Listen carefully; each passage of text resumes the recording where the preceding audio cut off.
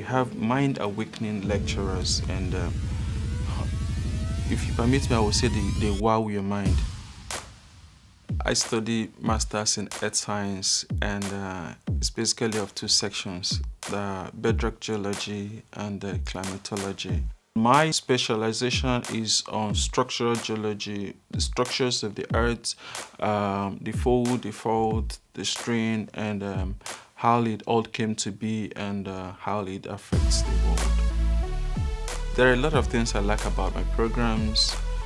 First of all, we have good and sound uh, lecturers who are good in what they are doing and um, seasoned, I would say, and they know how to impact the knowledge. We also have um, laboratories and uh, a lot of research equipment, the ICP-MS, the SEM equipment, and a lot of other equipments that you can always use.